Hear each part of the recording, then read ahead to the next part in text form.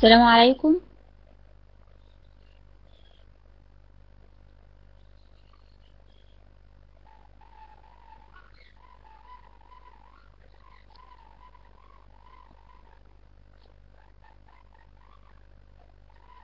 أنا اسمي آيات طه.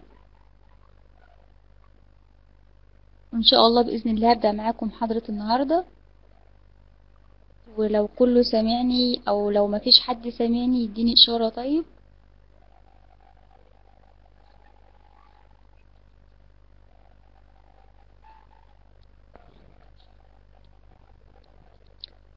طيب. اللي مش سامع صوتي أنا هحاول أعلي صوتي شوية. إن شاء الله بإذن الله. أنا زي ما قلت لكم قبل كده اسمي ايات طه. وهنبدا إن شاء الله مع بعض النهارده محاضرة صغيرة عن تعليم أسس طريقة نور البيان. هشرح لكم فيها باختصار بسيط أنا إزاي بدأت الرحلة ديت في تعليم الطريقة ديت وفادتني بإيه وايه هي أسسها. الطريقة ديت أنا اتعلمتها عن يد شيخين كان شيخ اسمه محمد جمال وشيخ تاني اسمه محمد محسن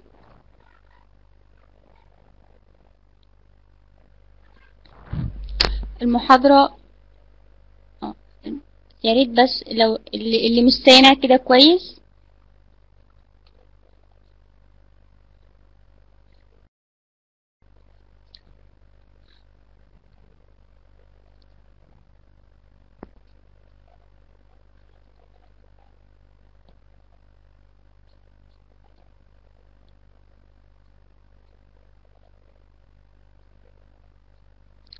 تمام.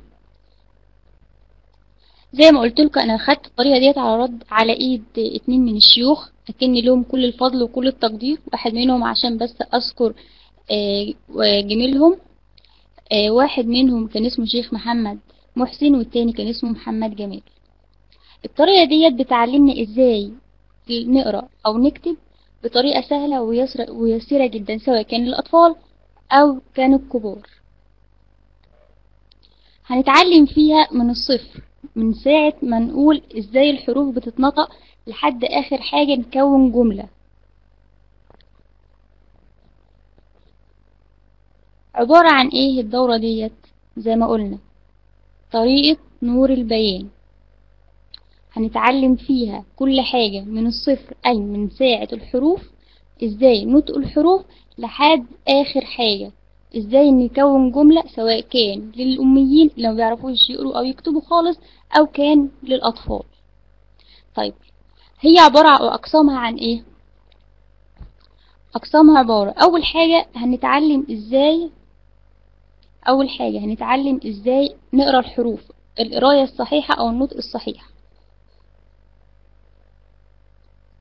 أول حاجة هنتعلم إزاي نقرأ الحروف القراءة الصحيحة أو النطق الصحيح. تاني حاجة هناخد حركات الحروف وهنوضح كل حاجة أو كل عنوان بقوله إن شاء الله بالتفصيل. تاني حاجة المفروض لما أجي أعلم طفل أو أجي أعلم أمي حد ما بيعرفش أو يكتب هياخد الطرق اللي أنا بقول عليها دلوقتي.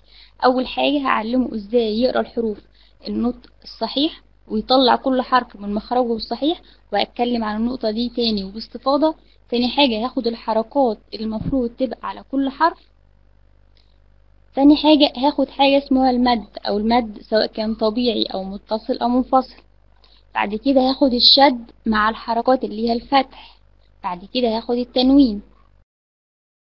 لما ياخد الحركات كلها على كل حرف في الآخر يبقى أنا كده قدرت الطفل هيحط له أو الأمي أي كلمة سواء كان عليها أي حركة من حركات الحروف هيقدر يجمعها. طيب نبدأ من الأول. إحنا قلنا أول حاجة هناخد الحروف. طب إزاي أنا أعلم حد يقول الحروف؟ أو إزاي أنا أعلم حد إزاي يقول الحروف ديت؟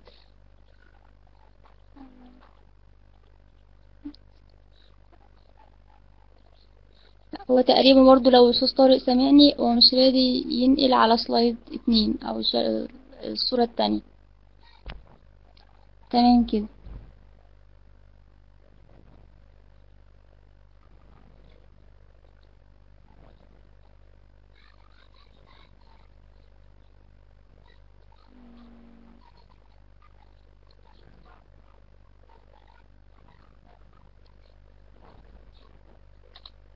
تمام. لو قلنا إن هي ديت هي حروف حروف الهجاء كلها من الألف لحد الياء. لما أجي أعلم حد الحروف ديت هعلمها له إزاي؟ أول حاجة بنطق الحروف ديت كلها مرة واحدة.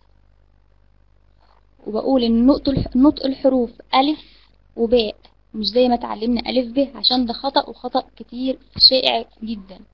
لما أجي أنطق الحرف هقول ألف وباء. هنطق الحروف كلها مرة واحدة لوحدي والشخص اللي أنا هعلمه يسمع سواء كان طفل سواء كان أمي. أقول ألف باء تاء وهكذا. وأنا بنطق هركز على ثلاث نقط. أول نقطة إزاي أطلع كل حرف من مخرجه الصحيح تاني نقطة هركز عليها الحروف المفخمة اللي هي الصاد الأول الخاء والصاد والضاد والطاء والظاء والغين والقاف. يعني ما أقولش ضاد ما أقولش تاء. على الطاء في ناس كتيرة قوي بتاكل الحروف ديت المفروض اما أجي ادي الحرف فيتعلمه. فأقول له هركز على الحروف دي وأنا بنطقها وأعرفه إن دي حروف مفخمة. ما تتقالش برقة. لازم أن تطلع تحس إنها بتملى البق وهي وأنت بتنطق. هتبقى صاد صاد ضاد طاء ظاء غين قاف خاء. دي الحروف المفخمة. يبقى إحنا قلنا هنركز على الحروف المفخمة. تاني حاجة هنركز على الحروف اللي بيطلع فيها طرف اللسان زي الثاء الذال الظاء. دي تاني نقطة هركز عليها وأنا بعلم اللي أنا هعلمه الحروف. تالت نقطة هركز برضو على الحروف اللي نطقها فيه خطأ شائع زي العين والغين والزاي. ناس كتيرة قوي بيقولوا عليها عين غين زين. لا نطقها الصح عين غين زاي. وأنا بنطق إزاي؟ أعلم الطفل الفرق ما بين الزاي والذال. أو أعلم الأم الفرق ما بين الزاي والذال. أقول له الذال بيطلع فيها طرف اللسان والزاي ما بيطلعش فيها أي حتة من أي جزء من لساني جوه كله. طيب أنا ركزت على الحاجات ديت وأنا بقرأ أول مرة. هقرأ الحروف ديت أول مرة واركز على الثلاث نقط اللي أنا قلتهم دولت اللي هي الحروف المفخمة الحروف اللي بيطلع فيها طرف اللسان الحروف اللي فيها أخطاء شائعة. طيب بعد كده هقرأ الحروف ديت واللي أنا هعلمه هيقراها ورايا. تالت مرة هسمع كل حرف من الحروف ديت كل حد من اللي أنا بعلمه نطقها النطق الصحيح ولا لأ؟ وبقى كده يبقى أنا اتأكدت إن كل حرف من الحروف اتنطق من مخرجه الصح اتنطق من مخرجه الصح واللي أنا بعلمه عرف ينطقه صح ودي يبقى أنا قطعت شوط كبير جدا في تعليمه القراءة. طيب أنا عايزة أفتح التشات لو سمحت يا أستاذ طارق عشان أعرف بس هما فيهم معايا ولا لأ.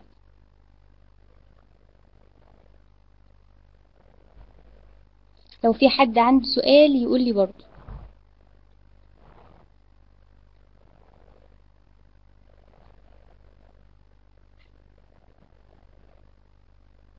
اللي عنده سؤال يتفضل يقوله.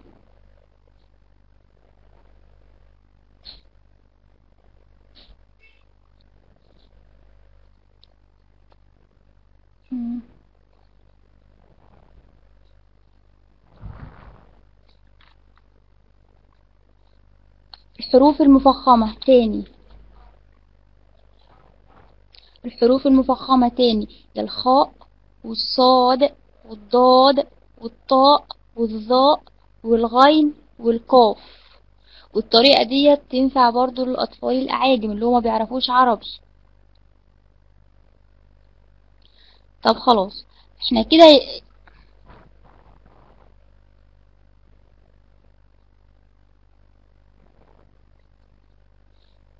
لا هو نطق الحرف في الطريقة ديت خاء. المفروض إن هو في العربي خاء. لكن خاء لو هنتكلم عليها بعدين. لو خاء لو خاء هنتكلم عليها بعدين الحتة دي عشان بس ما لخبطش الناس التانية. طيب ننقل لحتة تانية. يبقى أنا لو دلوقتي علمت الطفل أو أو الأمي لو علمت الامي أو الطفل آه، دلوقتي إزاي يقرأ الحروف وإزاي يحفظها هنيجي للمرحلة التانية اللي هي أشكال الحروف. إيه أشكال الحروف؟ هو عرف أول شكل اللي إحنا رسمناه في أول صفحة بعد كده تاني شكل. طب عايزين يعرف إن ده حرف الباء وده برضو حرف الباء وده برضو حرف الباء وده برضو حرف الباء. طب أنا هقول له ده إزاي؟ هو هيعرف ده من حاجة واحدة بس لما أنا أرسم له أشكال الحروف كلها في كل جزء في الكلمة وأقول له وأجيب له على كل حاجة المثال بتاعها. هقول له هقول له دي مثلا باب دي مثلا زي بنت اللي هي في أول الكلمة دي مثلا زي كتيب. اللي هي آخر واحدة زي كتيب. آم، والباء مثلا في نص الكلمة هجيب عليها مثال وأقول له ديت زيها في نص الكلمة. يبقى أنا هرسم له هكتب له الحرف وأكتب له جنبه شكله في كل اوجهه سواء كان جه في أول الكلمة في وسط الكلمة في آخر الكلمة عشان يعرف يميزه.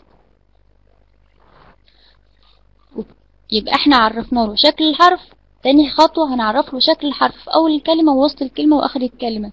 هجيب له مثلا جملة وأقول له إن ده حرف فيها فيها حرف الب هجيب له ثلاث كلمات فيها حرف الب في أول الكلمة وحرف الب في وسط الكلمة وحرف الب في آخر الكلمة وأقول له إن ده باء وده باء وده باء.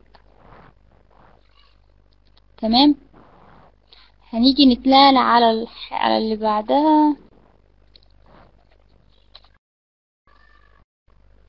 ونتكلم على الحروف المتشابهة كتابة. زي الباء والياء والنون والتاء والثاء. كتير قوي من الأطفال أو من الناس اللي هم أول ما يتعلموا بيتلخبطوا ما بين الباء والياء والنون والتاء والثاء والحاء والجيم والخاء وهكذا. طيب عشان نفرق برضو أو نعلمهم إزاي يفرقوا ما بينهم هروح أنا كاتبة حرف الباء أو أروح أنا كاتبة العلامة بتاع حرف الباء. أروح حاطة تحتها نقطة واقول له ده حرف إيه؟ فهقول له باء. وأروح بعدها مسحة النقطة اللي تحت وأروح حاطة فوقيها نقطة وأقول له طب كده بقى إيه؟ هيقول لي مثلا نون هيجي بعد كده وأروح مسحة النقطة اللي فوق وأروح حاطة تحتها نقطتين وأقول له يبقى كده إيه؟ يبقى ياء. وبكده وهكذا مع بقية الحروف. هيعرف يفرق مرة مع مرة مع مرة مع التكرار. هيعرف يعرف إن هي لما يتحط تحتها نقطة تبقى باء لما يتحط فوقها نقطة تبقى نون لما يتحط فوقها نقطتين تبقى تاء. وهكذا.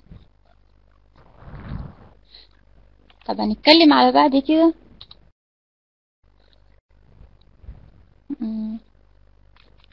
على الحروف المتشابهة. الحروف المتشابهة نطقا.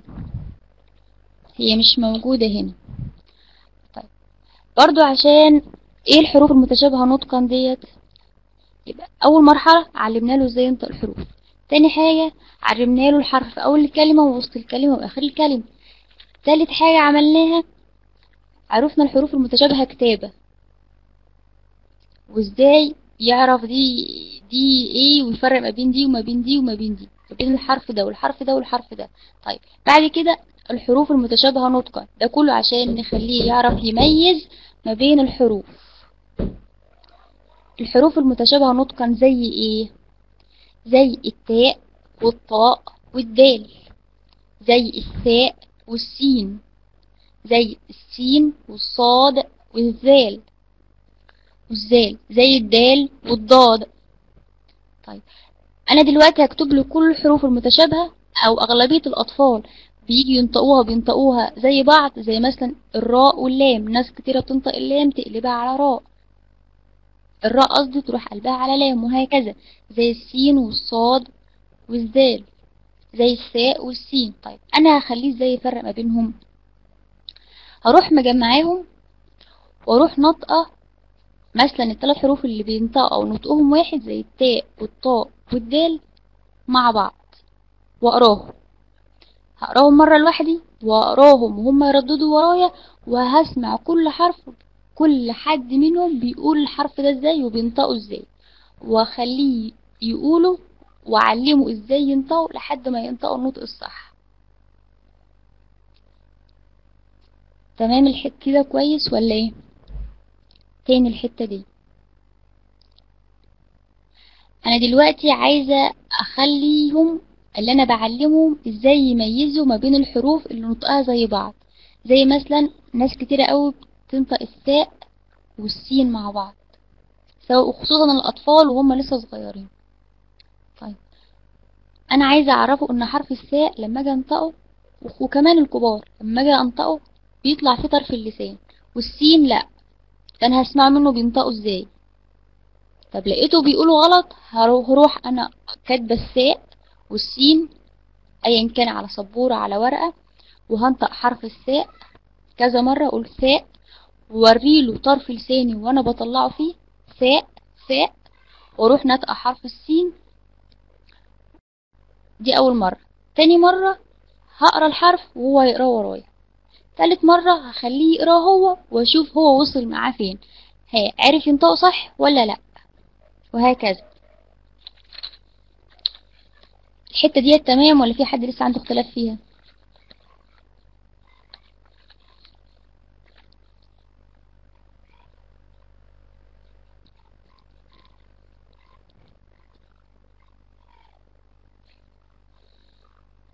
تمام. يبقى إحنا لو قلنا اللي أنا قلته من شوية ده أول حاجة علمت الأطفال إزاي يقولوا الحروف يقروها وركزت على الحروف المفخمة والحروف اللي يطلع فيها طرف اللسان والحروف اللي هي نطقها زي بعض. تاني حاجة أعلمهم الحروف المتشابهة. الحرف آسفة الحرف في أول الكلمة وفي وسط الكلمة وفي آخر الكلمة. طب وبعد كده الحروف المتشابهة نطقا والحروف المتشابهة كتابة. يبقى أنا كده خليتهم يعرفوا الحرف زي ما هو بس من غير حركات من غير حركات. هبدأ بقى أحط عليه الحركات. إيه الحركات ديت؟ سواء كانت فتح أو ضم أو كسر. الحركات سواء كانت فتح أو ضم أو كسر. هروح كاتبة الحرف ثانية واحدة.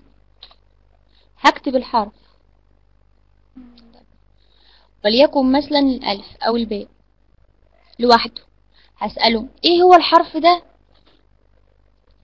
هيقولوا لي مثلا باء. طيب لو حطيت عليه الشرطة الميلة ديت لفوق وإحنا بنسميها فتحة هقول لهم يبقى اسم الحرف ده أو نطقه إيه.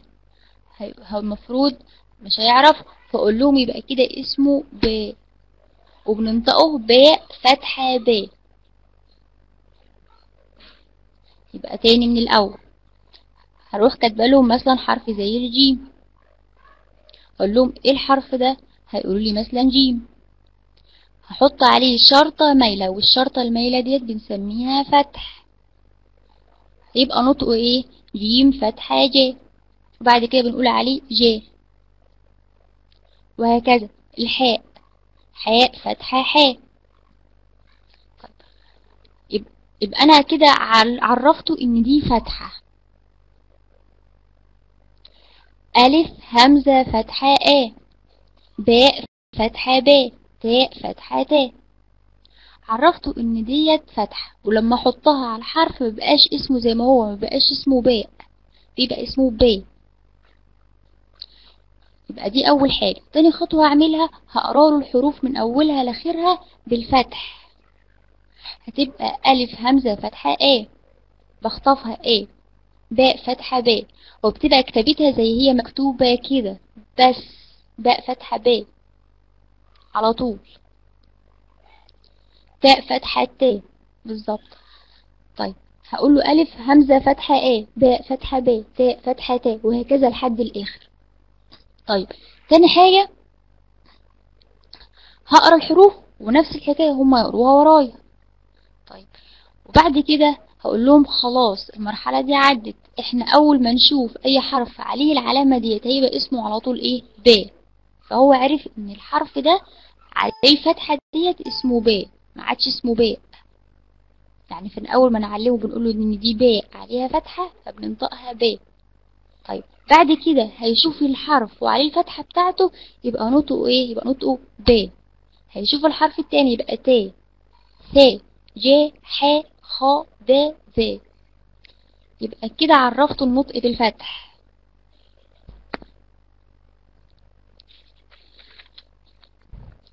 ولو خدنا طب أنا هعرفه النطق بالفتح.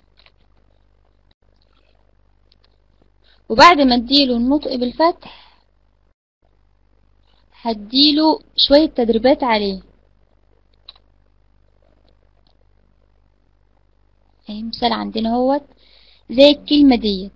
تلات حروف تلات حروف عليها تلات فتحات. يعني تلات حروف مفتوحين. هكتب له مثلا التلات حروف دولت. هقول له إيه الحرف ده؟ المفروض هو عارف خلاص. حرف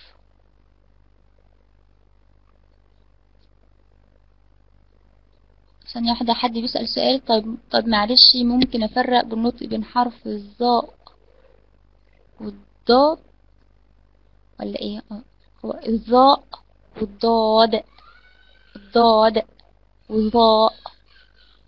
حرف الظاء بيبقى ظا والضاد بيبقى ضا ظا ضا عليها الفتحة. طب نرجع لسجدة هو المفروض الطفل عرف أو أو أي حد بعلمه عرف إن السين وعليها فتحة تبقى س والجيم وعليها فتحة تبقى ج والدال وعليها فتحة تبقى د أنا هقول له سين فتحة س بعد كده جيم فتحة ج طب انطقها كده على بعضها س ج س ج نطق السين بعدين نطق الدال. طيب الجي نطق السين وبعدين نطق الجيم. بعد كده د س ج د طب نشوف فشكر أو عبد ع عين فتحة ع بعد كده باء فتحة باء. طب ننطقها على بعض وبسرعة ع ب طب بعدها دال فتحة د. وبننطقها لوحدها إيه؟ د. تبقى كلها على بعضها إيه؟ ع ب د. يعني هو بمجرد ما يعرف إن ده عين وعليها فتحة ودي باء وعليها فتحة فهو عارف إن دي لوحدها ع ودي لوحدها ب ودي لوحدها د فلو نطقها على طول بسرعة يقول ع ب د فهمتوا الحتة ديت؟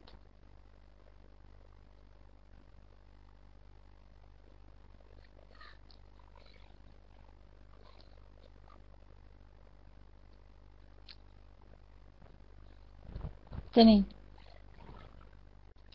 يبقى كده علمناه ينطق كلمة كلها مفتوحة أو كلها عليها فتح. آه.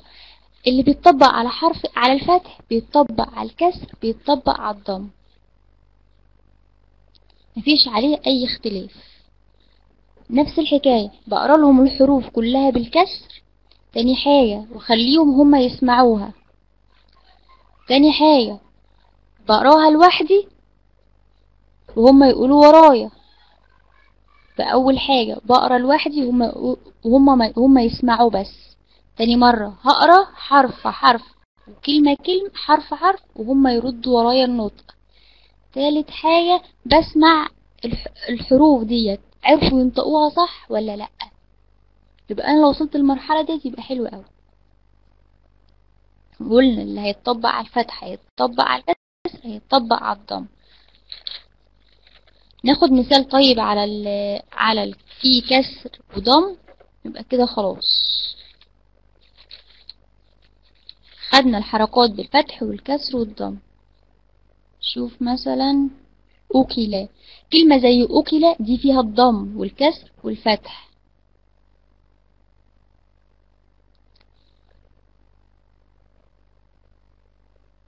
طيب حد بيقول الأحسن نكتب ساجدة لا هي عمرها ما تتكتب كده عشان كده أصلا غلط.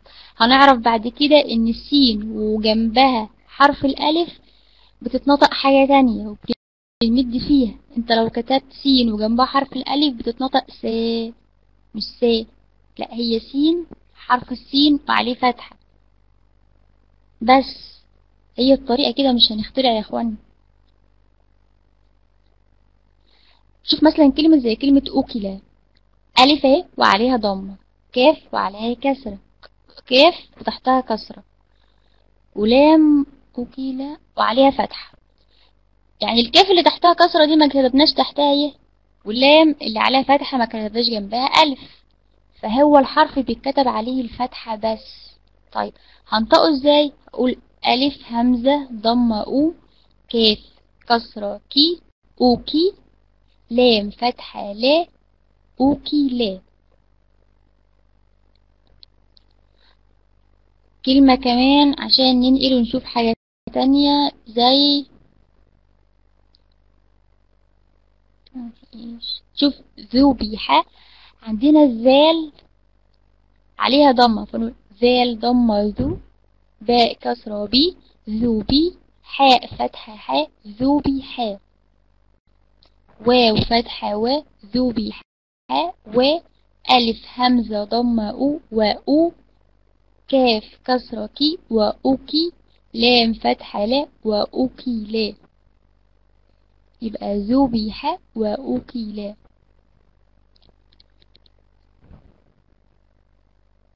في حد عنده سؤال؟ لحد ما إحنا واقفين كده ولا نقلب على حاجة تانية؟ الزال لما أجي أنطقها بقول زال ضمة ذو ذو ذو ذو. أمثلة على الضاد والظاء الظاء وليس الضاد الظاء آخرها همزة. فيش هنا. في فصدق في مثلا كلمة فصا ده قا نكتبها طيب.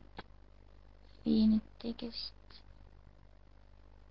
تكست تكست نكتب زي كلمة فا صا ده فا صا ده قا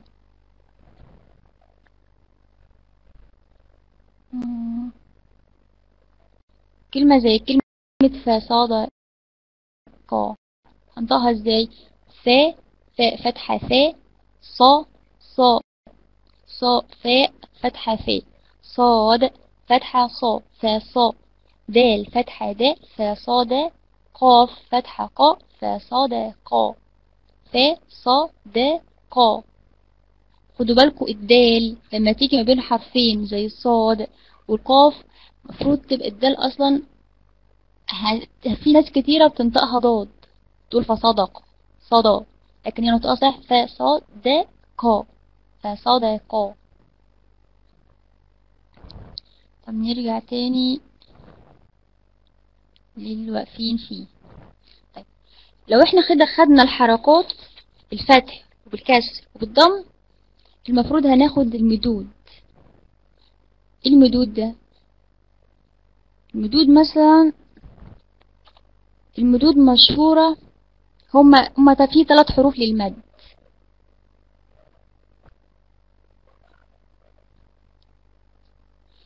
في ذا تنطق اخوانا ما محدش ذا تنطق ذو في ذبح ذبح ما نقولش ذو ما بنقولش ذو بيحة. بنقول ذبح على طول. عشان كلمة ذو بيحة دي تعتبر كلمتين أصلا نركز في الحتة دي عشان مهمة جدا. تمام. نرجع للمدود. المدود اللي هي عبارة عن ثلاث حروف الألف والواو والياء. والمد بيكون ساكن ويتبعه حركة من جنسه يعني إيه حركة من جنسه يعني مثلا الألف هنا لازم يكون قبليه فتح. والواو بيكون قبلها حرف مضموم. والياء بيكون قبلها حرف تحتيه كسرة وهكذا يبقى المد بيكون ده عبارة عن حرف لين اللي هما الألف والواو والياء بنجمعها في كلمة واي وبيكون عشان تبقى. بنسميه حرف مد عشان الألف أو الواو أو الياء نسميه حرف مد لازم يكون فيه شرطين أول شرط إن هو يكون ساكن فأنا شرط إن هو بيتبعه حركة من جنسه.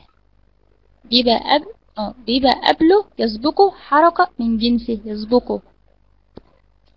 ثانية واحدة يا اخوانا ثانية واحدة معايا.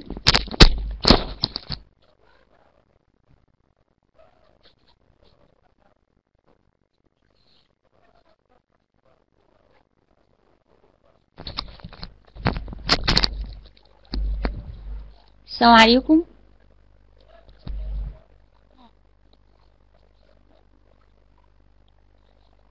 على المقاطعة. آه، هنرجع تاني ونقول حرف الباء. آه.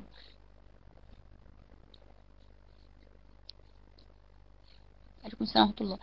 آه، كنا واقفين عند المدود. إحنا قلنا الألف والواو والياء دولت عبارة عن حروف مدود وعشان نقول عليهم حرف مد لازما بيبقى فيه شرطين. أول شرط يبقى الحرف ده ساكن تاني شرط بيبقى قبله حركة من جنسه يعني إيه حركة من جنسه يعني الألف لازم يكون قبليه حرف متحرك بالفتح أو عليه فتحة والياء قبليها حرف تحتها كسرة والواو قبلها حرف عليه ضمة زي هنا بالظبط. عندنا الألف قبليه حرف عليه فتحة. طيب بننطقه إزاي بقى؟ بنقول عليه باء فتحة باء وال... والألف ده بنقول عليه ألف مد طبيعي حركتين ب قبل كده كان اسمه باء فتحة باء وخلاص. لكن دلوقتي بقى اسمه لما جاء جه وراه حرف لين بنقول عليه باء فتحة باء ألف مد لين أو مد طبيعي حركتين ب وهكذا. تاء فتحة تاء ألف مد طبيعي حركتين تاء. يعني إيه حركتين؟ يعني مدة صغيرة زي ما أنا بقول عليها كده. مدة فرد الصباع أو تاني الصباع وفرده أو, ف... أو أنا كنت تانياه وبفرده. ب... وهكذا بقية الحروف.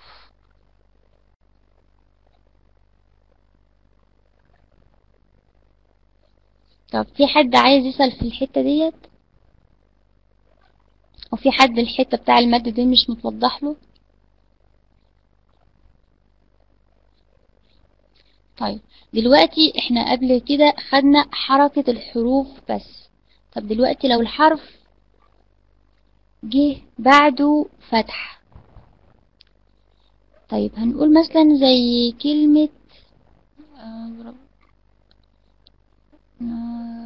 آه هنقول مثلا مثال من القرآن.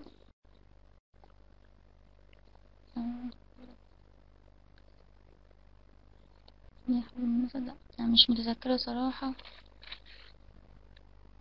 آه. زي مثلا كلمة والشمس وضحاها. آه تمام حافظون زي مثلا والشمس وضحاها.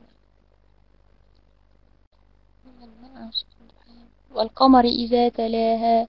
والنهار إذا جلاها. وهكذا. وكلمة ضحاها.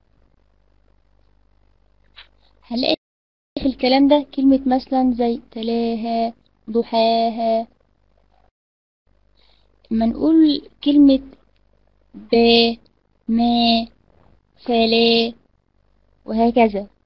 أفلا قبل كده كنا بنقول عليه ب على طول كتب طب ما نيجي مثلا حرف الميم لوحدها نقول عليها ما لكن ليه بقى جنبها حرف مد ألف فبنسميه مد طبيعي حركتين فبنقول عليه ب ت ث طيب التهج بتاعه إزاي؟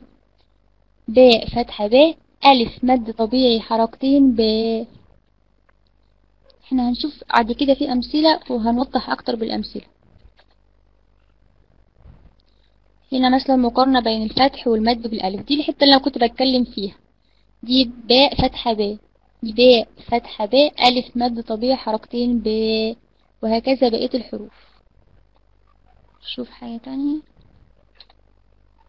آه. دي المد المتصل. ده نوع تاني من أنواع المدود. بس هنرجع للمد الطبيعي اللي إحنا فيه عشان ما نتلخبطش. طيب. هنقول مثال على المد الطبيعي.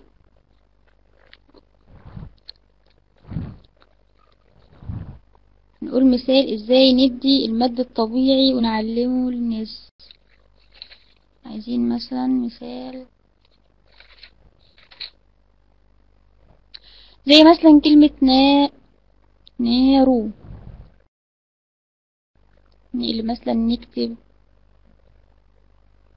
هنا.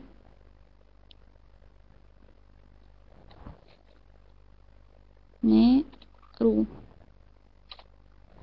ونكتب الكلمة دي.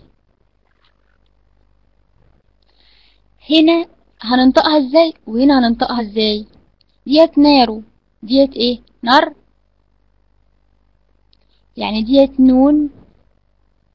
نون فتحة نا ألف مد طبيعي حركتين نا راء ضمة رو. نارو ديت نون فتحة نا راء كسرة أر نر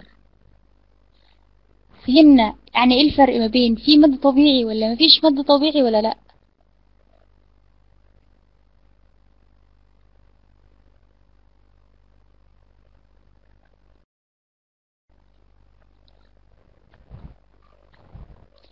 يبقى أهم حاجة وأنا بعلم المد العادي المد الطبيعي أو الحروف بالفتح بس إن أنا أفرق ما بين دي وما بين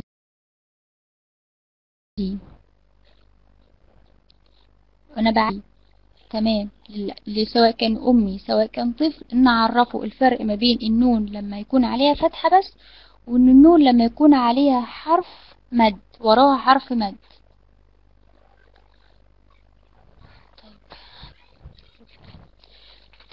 المد الكلمة دلوقتي لو. على. على الألف لو جه حرف مد. طيب. طب لما الياء ندي مثال لما الياء تيجي حرف مد زي كلمة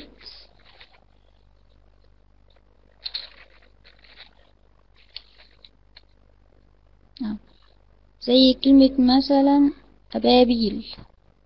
هنكتب مثال هنا.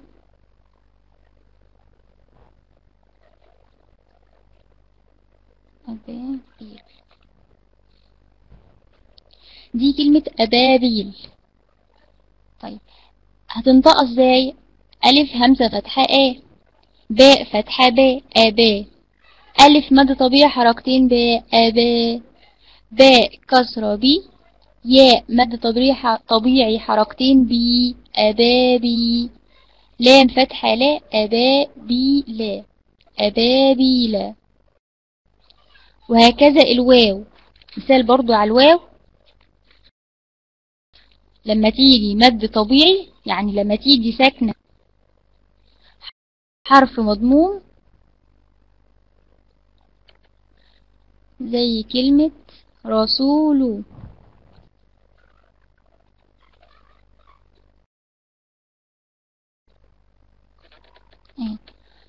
تبقى رسول سين ضمة سو واو مد طبيعي حركتين سو رسو.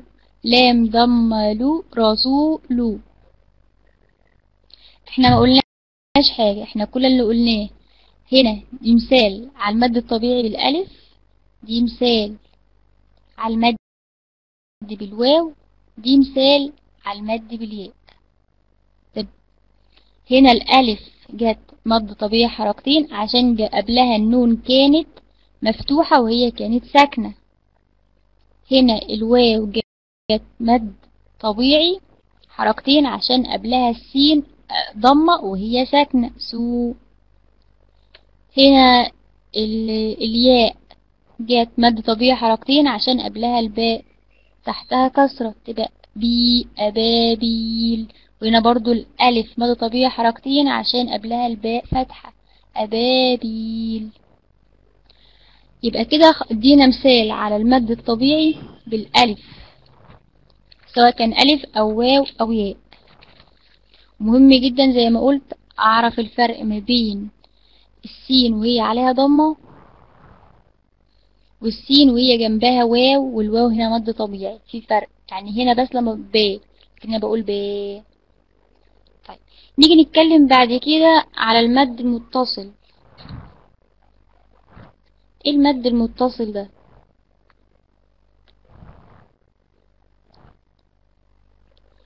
المد المتصل ده بيبقى برضو سواء كان الألف أو الواو أو الياء. نفس الحكاية قبله حرف عليه فتح. قبله حرف عليه فتح أو حركة من جنسه بس في بعدها همز. في نفس الكلمة تمام. وفي وفي بعد الألف في همزة. فعشان كده فبنسميه مد متصل ومش مدته حركتين بس مدته أربع أو خمس حركات بنطولها شوية.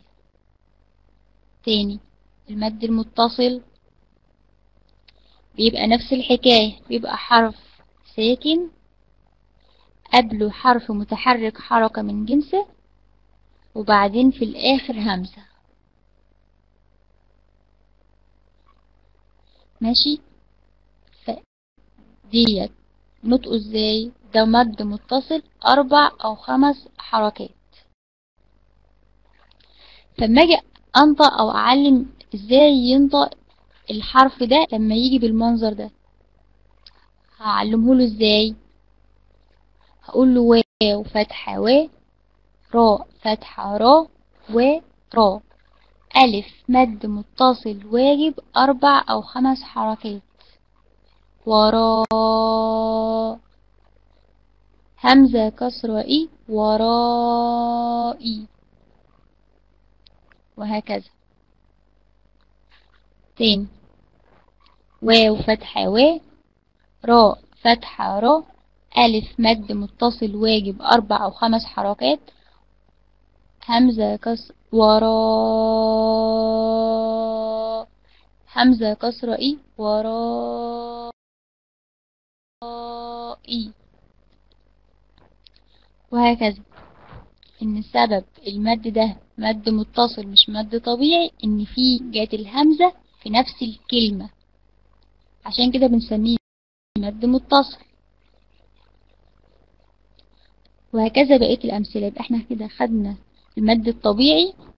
المد الطبيعي نفس الكلام ده بس ما كانش فيه وراه همزة. تمام؟ وهكذا بقية الأمثلة. طيب المد المتصل ومدته بنطول المد شوية أربع أو خمس حركات.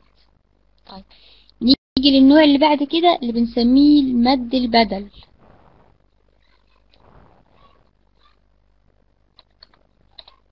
مد البدل تمام. كان قبل كده في المد المتصل الهمزة جت بعد حرف اللين أو بعد حرف المد. في البدل الهمزة وبتكون مفتوحة. وبتكون برضو مد بدل حركتين. يعني ناخد بالنا منه عشان في ناس كتير قوي بتتلخبط ما بينه وما بين المد المتصل. بيتعلم في القرآن إن المد المتصل بيكون عليه همزة مد.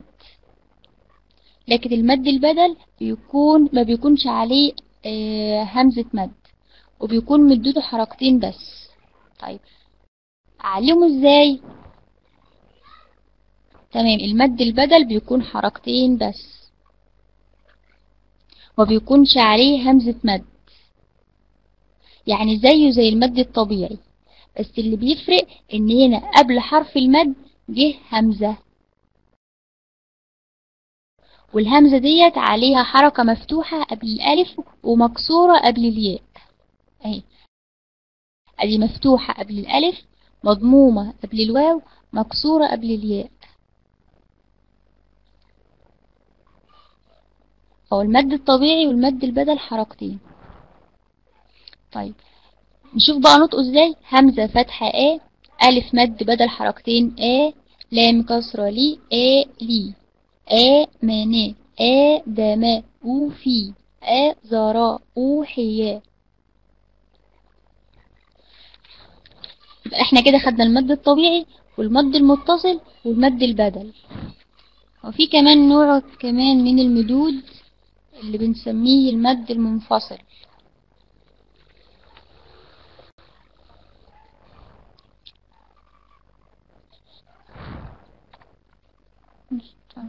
هنا ليه؟ ممكن حتى كده. نروح مثلا 11 آه تمام.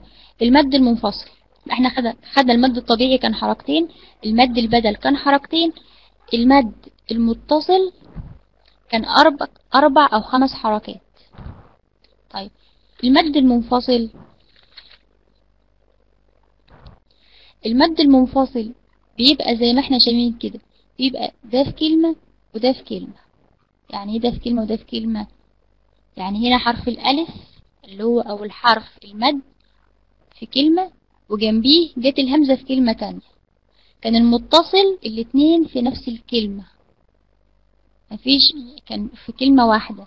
لكن هنا هلاقي الميم جه الحرف المد وجنبه حرف وقبله حرف متحرك من جنسه وبعديه همزة. بس المشكلة إن فصل ما بين الحرف ده والهمزة حاجة. ده في كلمة وده في كلمة. فعشان كده بنسميه مد منفصل. المد المنفصل بيكون مد جائز. المد المنفصل بيكون مد جائز. جائز ليه؟ يعني ممكن أخليه حركتين ممكن أخليه أربع أو خمس حركات. فعشان كده سميناه جائز. طيب بيتنطق إزاي ده؟ أو ننطق الكلمة دي إزاي؟ واو فتحة و ميم فتحة ما وما ألف مد منفصل جائز اثنان أو أربع أو خمس حركات. وما ألف همزة ضمة أو وما أو راء كسرة ري ياء مد طبيعي حركتين ري دال ضمة دو أري أريد المد المنفصل ممكن أخليه زي المد الطبيعي حركتين وممكن أخليه أربع أو خمس حركات زي المد الواو زي المد المتصل. عشان كده بنقول عليه جائز. يعني ممكن أكسره أخليه حركتين ممكن أخليه أربع أو خمس حركات. خليه اسمه منفصل عشان فصل ما بين المد وبين الهمزة بفاصل. ننطق كمان واحدة كلمة تانية. فاء فتحة فاء ميم فتحة ماء فما ألف مد منفصل جائز. اثنين أو أربع أو خمس حركات. فما همزة فتحة إيه يعني أنا كده ما خليتوش حركتين. خليته خليته أربع أو خمس حركات. ممكن حد يقول فما فما بس. ممكن حد يقول فما. ثانية واحدة. فما. ألف. آه همزة فتحة إيه فما. إيه ألف. مد. بدل حركتين. إيه ميم فتحة ما إيه ما نون فتحة نا إيه ما نا لو نلاحظ هنا إن هنا الألف دي جت مد بدل والألف ديت جت مد منفصل.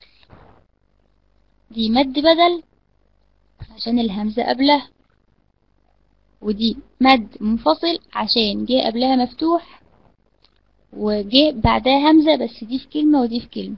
ممكن نقولها فما آمنا ممكن نقولها فما آمنا وهكذا. يبقى إحنا كده خدنا مد طبيعي مد بدل مد متصل مد منفصل. في حد عنده اعتراض على المدود؟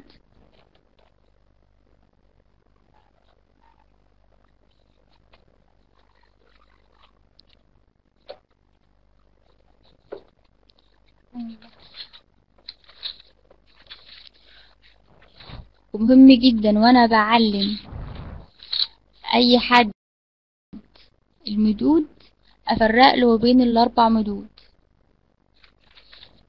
اللي هم الطبيعي والبدل والمتصل والمنفصل. إحنا خدنا الحركات الفتح والكسر والضم بعد كده خدنا المدود. طيب بعد كده هبدأ أعلمه التنوين سواء كان تنوين بالفتح تنوين بالكسر تنوين بالضم. طيب الحرف بيتنطق إزاي بالتنوين؟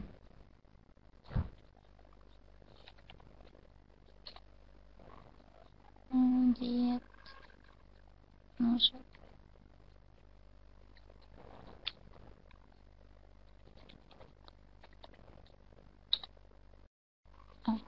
أول حاجة التنوين بالفتح. باء تنوين بالفتح بن. تاء تنوين بالفتح تن. نفس الحكاية. هقراها الأول كلها. لوحدي وأخلي اللي أنا هعلمه يسمع بس. بحيث إنه يعرف الحرف ده بيتنطق إزاي. باء تنوين بالفتح بن تاء تنوين بالفتح تن. وهكذا. طيب أنا قريتها لوحدي. بعد كده هقراها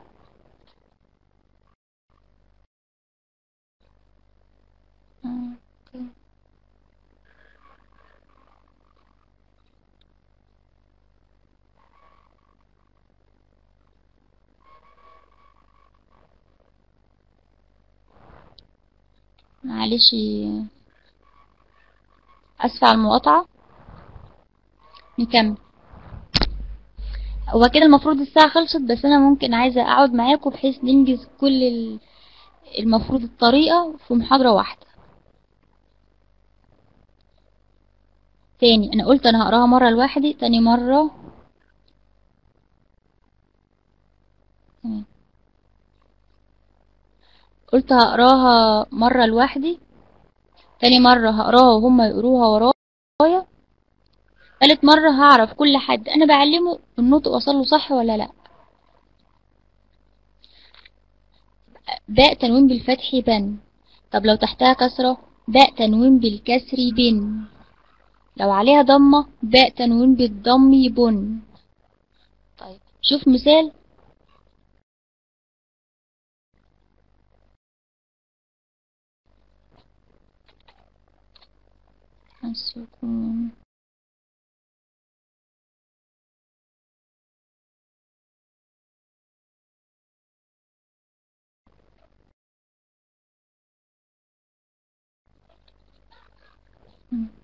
طيب. زي مثلا حسابا يسيرا ثبورا. ده كله تنوين بالفتح. طب مثال على تنوين بالكسر. زي م- عظيم نصب عاتية. تنوين بالضم مصيبة وزينة خالصة وهكذا. طيب. نيجي للسكون.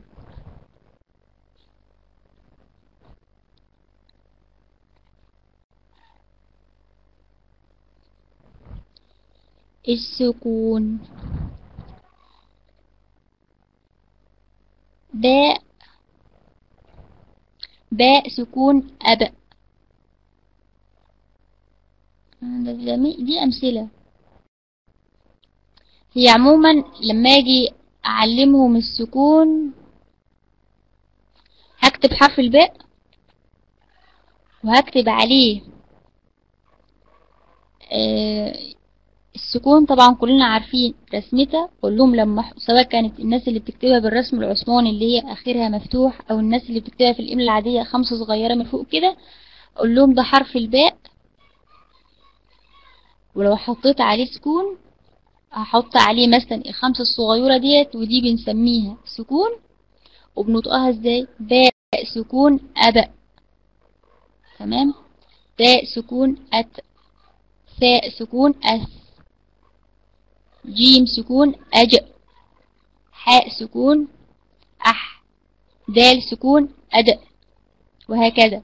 طب نلاحظ في أب وأج وأد وأط الحروف ديت وإحنا بنقولها بنقلقلها. مجموع في كلمة قطب جد. نلاحظ وإحنا بنقولها نقلقلها. زي مثلا قد سمع قد سمع ما نقولش قد سمع على طول كده. لا قد سمع. أج. أد. أركز له إن الحروف ديت لما تيجي تتنطق بقلقلها. اللي هي مجموعة في كلمة قطب جد. تمام. قل هو الله أحد. الله الصمد. وهكذا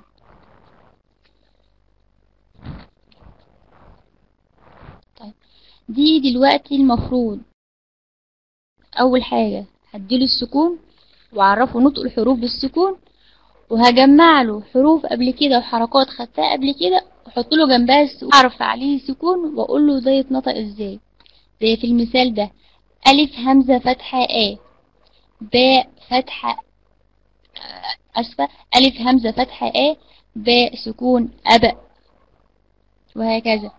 زي مثلا عو عين ضمة عو صاد سكون. قص عص. وهكذا. عط رف رك عظ. أج. وهكذا. كده. اللام القمرية. طيب اللام القمرية. اللام القمرية طبعا عارفين اللام القمرية واللام الشمسية. اللام القمرية اللي هي بتظهر في الكلام الأرض الباطل الغيب وهكذا. القمرية القمرية ديت اللام القمرية يعني اللام اللي بتظهر في النطق وفي الكتابة زي الباطل. انت بتنطق القمر بتقول القمر ما بتقولش القمر. لا بتقول القمر. في حين لما بتنطق الشمس لما بتيجي تنطق كلمة الشمس بتقول الشمس اللام مش بتبان. فاللام الشمسية ما بتبانش واللام القمرية بتبان.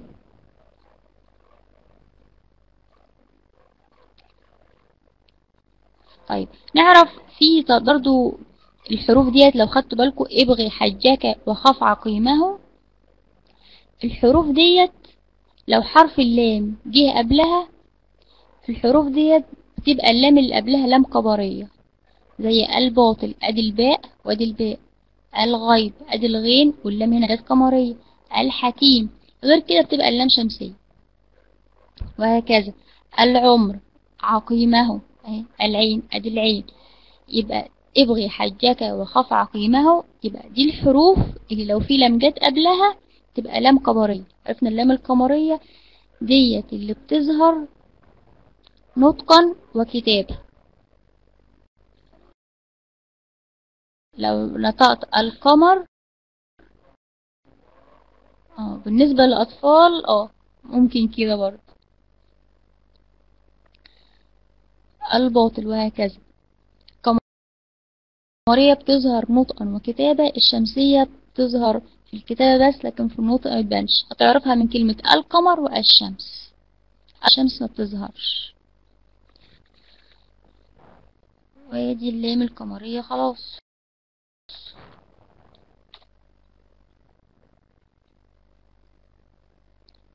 دي تدريب.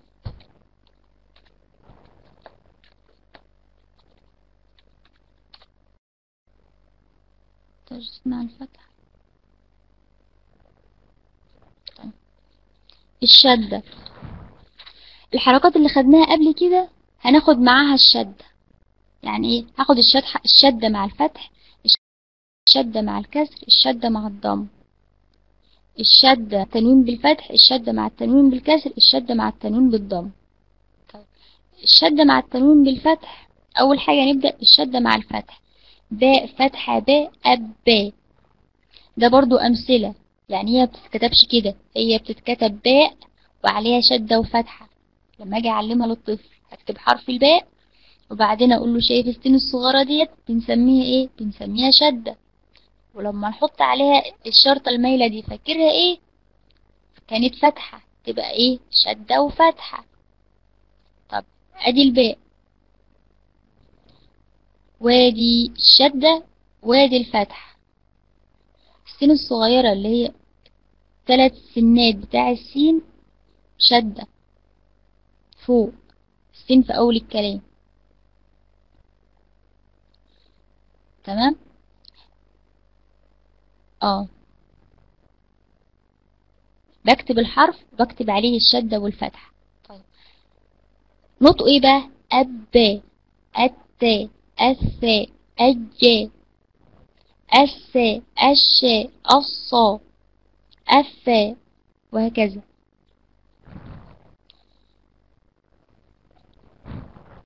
طيب بننطقها كده بجميع الحروف لكن من غير ما عدا حرف الميم وحرف النون بنقول عليه ميم حرف غنة مشدد بالفتح. أما تاني الحتة ديت؟ ما عدا الميم والنون ما بنقولش عليهم ميم عليها شدة وفتحة لا بنقول عليهم ميم حرف غنة مشدد بالفتح. أما طيب في مثال هنا. الغنة بمقدار حركتين.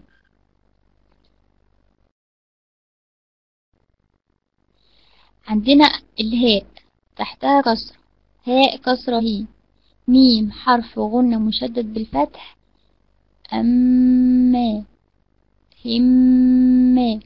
هن وهكذا. الميم والنون لما تيجي عليهم شدة وفتحة بيبقوا حرف غنة مشدد بالفتح أو حرف غنة مشدد بالكسر وهكذا.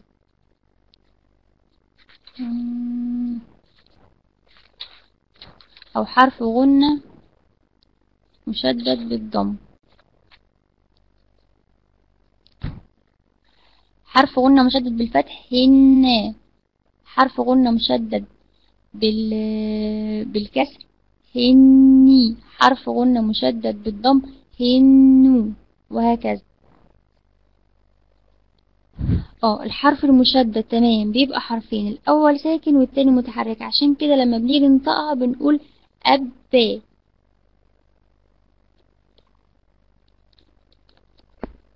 تمام تمام. ماشي. طيب أنا بقى لما أجي أديه لل... للأطفال هعمله إزاي؟ نفس الفكرة خالص أو سواء كان الاميين بقول له الحرف واقول له هحط عليه ثلاث سنات أو السين الصغيرة تبقى دي شدة وأحط عليه فتحة تبقى شدة وفتحة ونقط وكذا أب وعليه شدة وضمة يبقى أبو واقول عليه شدة وكسرة تبقى طيب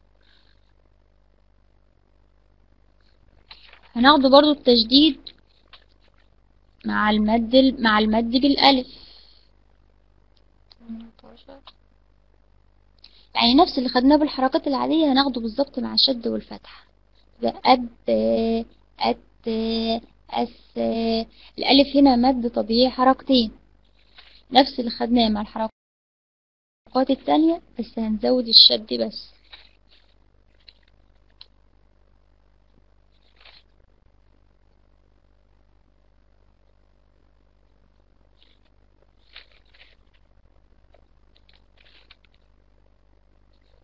في حد عنده مشكلة في الحتة دي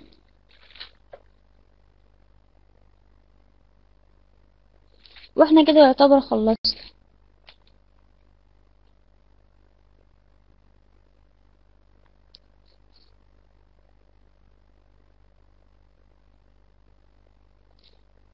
لا هو صراحة مش كله. هو كده فاضل جزء. أنا كان نفسي أخلص لكم كله النهارده بس صراحة كده مش هينفع. هننسق الميعاد التاني وهيبقى فيه إعلان برضو للجزء التاني. وهيكون برضو فيه جمل إن شاء الله.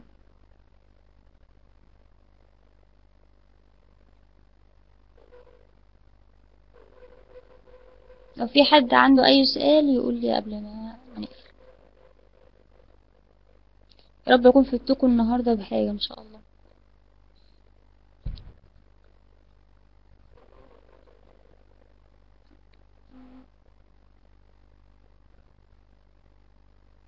تمام كده السلام عليكم